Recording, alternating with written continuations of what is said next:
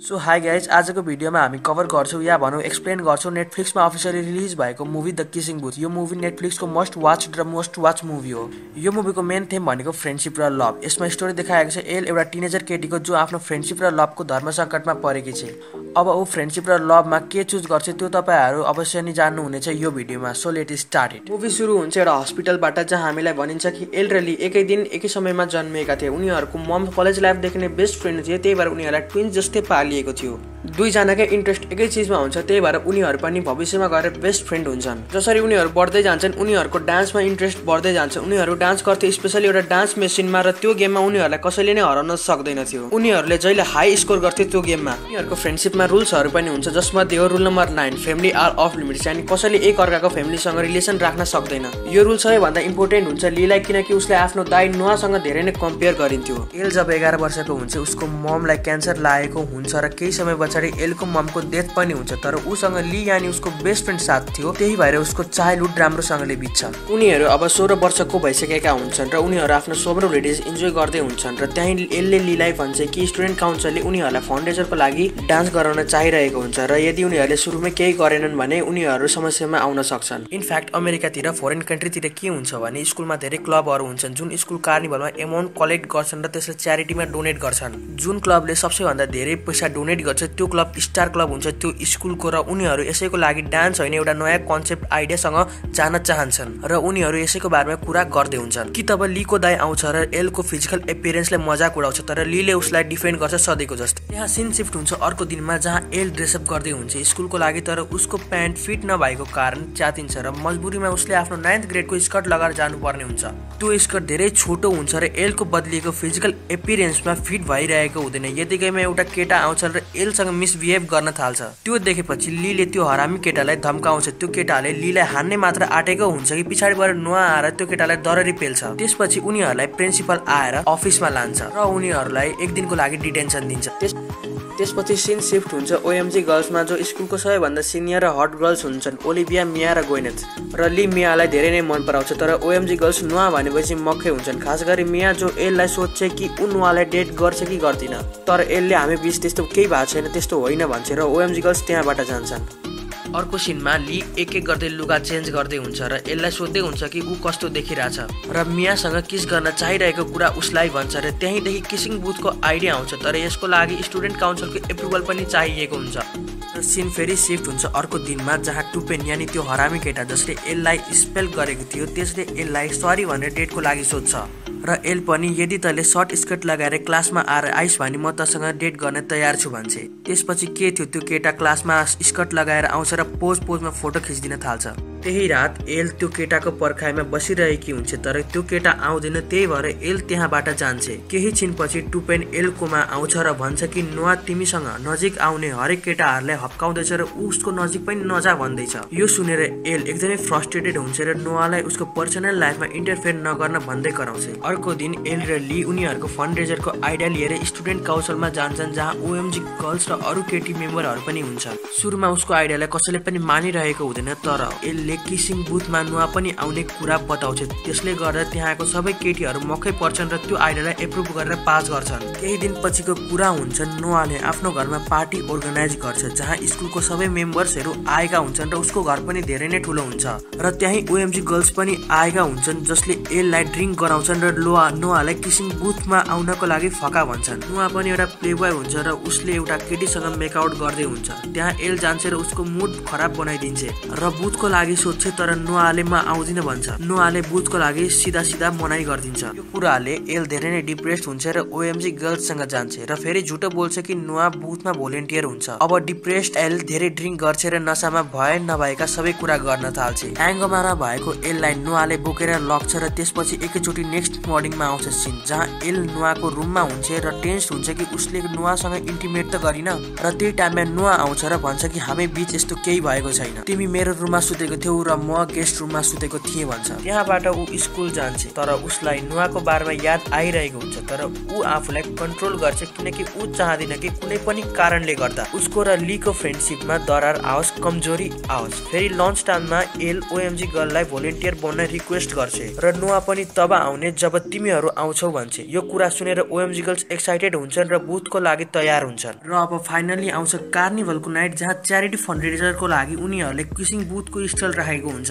र किसिङ बुथमा हुन्छ यो कि केटा र केटीलाई आँखामा पट्टी लगाएर र पैसा लिएर किस गर्न दिइन्छ त्यहाँ सायद ओएमजी गर्ल्स आएर होला एलको बुथले एकदम राम्रो कमाइ गरिरहेको हुन्छ तर नुवा बुथको लागि अहिलेसम्म मानेको हुँदैन र एल र ओएमजी गर्ललाई उल्लु बनाएर नुवाको भाइ लीलाई त्यहाँ पठाइन्छ। लीलाई ओएमजी गर्ल्सले किस गर्दैनन् र धेरै केटीहरू त्यो ठाउँ छोडेर जान्छन् किनकि त्यहाँ नुवा आएको हुँदैन। तर एउटा केटी रेचल लीलाई आएर किस गर्छ र किस गरेको केही टाइममै रेचल र लीको बोन्डिङ हुन्छ र बुथको जिममा एललाई छोडेर उनीहरू टाइम स्पेन्ड गर्न जान्छन्। र यही मौका पाएर ओएमजी गर्ल्स एलसँग बदला लिनका लागि उसलाई ब्लाइन्ड फोल्डेड पाएर एउटा अग्ली र फोहोरी केटालाई किस गर्न पठाउँछन्। तर त्यो केटा नुवालाई तपाईँको सुरुमा पालियो र तपाईँ सुरुमा जानुहोस् भनेर किसिङ बुथमा पठाउँछ। एल ब्लाइन्ड फोल्डेड हुन्छ र यो मेरो फर्स्ट किस हो मबाट केही गल्ती भयो भने मलाई माफ गर भन्छ र कुरा नसक्दै नुवाले किस गरिदिन्छ एललाई र एल पनि छक्क परेर को रहेछ भनेर सोचेर हेर्छ र अगाडि नुवालाई देख्छ र सक्ट हुन्छ।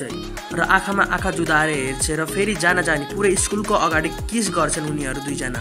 र यो देखेर सबैजना चेयरअप गर्न थाल्छन् र पछाडिको ओएमजी गर्ल्स ढाले मर्छन्। तब यसलाई पनि याद आउँछ रुल नम्बर नाइन र उल्लीलाई सबै कुरा बताउन जान्छ र लीले यो किस च्यारिटीको मात्र लागि होस् र यो किस योभन्दा अगाडि नबढोस् भन्छ। त्यसपछि एल बुथ सफा गरेर एक्लै घर जाँदै हुन्छ र सोच्दै हुन्छ कि नुवाको त्यो किस मेरो लागि केही मतलब राख्छ कि राख्दैन। र यतिकैमा नुवाले एललाई लिफ्ट दिन्छ आफ्नो बाइकमा र केही समय पछाडि रेनफल हुन थाल्छ पानी पर्न थाल्छ। त्यही भएर उनीहरू छेउमा भएको गार्डनको ग्याजिबोमा जान्छन् एउटा हटमा जान्छन् र त्यहाँ नुवा र एल फेरि किस गर्छन् अनि एलले नुवालाई म कन्फ्युज छु म तिमीसँग रिलेसनमा बस्न सक्दिनँ भन्छ र पिर परेको नुवाले पनि ऊ प्रतिको आफ्नो फिलिङ भनिदिन्छ। र फेरि उनीहरू किस गर्न थाल्छन् र त्यहाँ वाचम्यान आउँछ र नुवालाई राम्रोसँगले चिन्छ र तँलाई कतिचोटि भने कि यहाँ केटीहरूलाई नले भन्दै घप्काउँछ र यो सुनेपछि एल नुवालाई तैँले मलाई तेरो हुकअप स्पोर्टमा ल्याइस् भन्दै कराउँछ र त्यहाँबाट रिसाउँदै जान्छ र नुवाले म तिमीलाई साँच्ची मन पराउँछु भन्छ किनकि नुवालाई इग्नोर गर्छ एलले र अरू केटी जस्तो ऊ माथि मक्ख पर्दिन। केही बेरपछि पानी रोकिन्छ र उनीहरू त्यहाँबाट घर जान्छन्। केही दिनपछि एल नुवा ली र अरू स्टुडेन्टहरू बिच पार्टीमा गएको हुन्छन्। तब एउटा केटा आउँछ र एलसँग मिसबिहेभ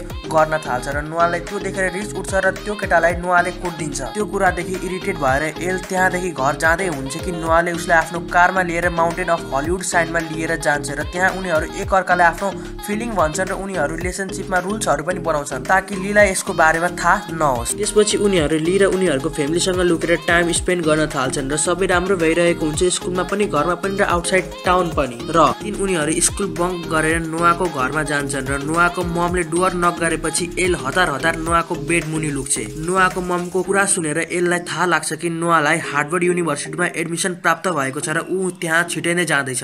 यो कुरा सुनेर एल दुखी त हुन्छ हुन्छ खुसी पनि हुन्छ। यसरी नै सबै चल्दै गरिरहेको हुन्छ। ली पनि रेचलसँग बिजी हुन्छ र फेरि एकचोटि लीले एललाई सोध्छ कि नुवा र उसको बिच केही छ छैन। त एलले पनि भन्छ कि हामी बिच त्यस्तो केही छैन। अर्को दिन एल नुवालाई उसको बाइक बनाउने हेल्प गर्दै हुन्छ कि ऊ स्टियर केसबाट लड्छ र उसको गालामा चोट लाग्छ र नुवा एललाई फर्स्ट एड लगाउन कोठामा लगेको हुन्छ र उनीहरू इमोसनल भएर किस गर्न थाल्छन्। उनीहरू किस गर्दै हुन्छन् कि ली त्यहाँ आइपुग्छ र यो देखेर ऊ रिसको झ्वाकमा त्यहाँबाट जान्छ र एल पनि उसको पछाडि पछाडि बाहिर गएर एलले लीलाई एक्सप्लेन गर्न खोज्दा नुवा आइपुग्छ र यसमा मेरो पनि गल्ती छ यसको गल्ती मात्र छैन भन्छ। अरूको कुरा नसुनी ली ग्यारेजबाट आफ्नो कार लिएर आउँछ र जर्ने बेलामा एललाई भन्छ कि सानैदेखि लीले जे पनि पाएको थियो त्यो कुरा नुवाले ऊबाट खोसेर लान्थ्यो। नुवाले पनि त्यही पाउँथ्यो जुन लीले पाएको हुन्थ्यो तर एल र उसको फ्रेन्डसिप मात्र एउटा यस्तो चिज थियो जुन नुवासँग थिएन। तर अब लीसँग त्यस्तो केही नै छैन एल पनि नुवाको भइसकेकी छ। ली सुरुमा धेरै नै रिसाएको हुन्छ तर एलले उसलाई बारम्बार फकाएको कारण ऊ अब एललाई माफ गरिदिन्छ किनकि उनीहरू बेस्ट फ्रेन्ड जो हुन्छन्। अब आउँछ प्रोम नाइटको रात जहाँ एल ली र रेजलसँग गएकी हुन्छ। त्यहाँ धेरै नै फोटो कलेक्सनहरू स्टल्सहरू